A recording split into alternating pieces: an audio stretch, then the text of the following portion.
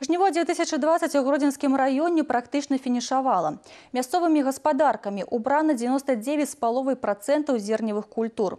Па ацэнках экспертаў сёлетняя кампанія прайшла арганізавана і на дадзены момант можна складваць папярэднія высновы. А менавіта вынікам жніва сталі ўраджайнасць і намалоты, якія істотна перавысілі мінулагоднія паказчыкі. На 95 процентаў выканана заданне па здачы зерня ў лік дзяржзаказу. Обмолочено 28 600 гектаров, что составляет 99,5% от всей уборочной площади. При о, урожайности 78,8 центнера с гектара, что по сравнению с прошлым годом э, выше э, на 18 центнеров с гектара. Намолочено на сегодняшний день э, 225 э, тысяч э, 800 тонн. Ожидается, что общий намолот составит э, более 226,5 тысяч тонн зерна. Усяго на жніве ў гродзенскім раёне было задзейнічана 150 зернеўборачных камбайнаў. Як паказала практыка, тэхніка аграрыў не падвяла.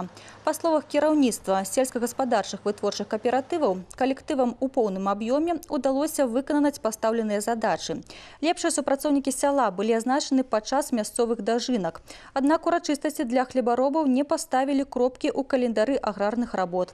На сённяшні дзень у СВК рэгіёна працягваюцца планавыя сезонныя працы.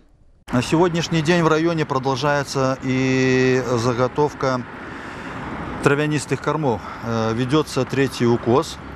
И уже э, заготовлено у нас э, более 249 тысяч тонн сенажа, что составляет 101% к заданию. На одну условную голову у нас получено более 13 центнеров кормовых единиц. Сярод бягучых планаў гаспадарак уборка саломы і правядзення ворывы пад сяўбу азімых культур.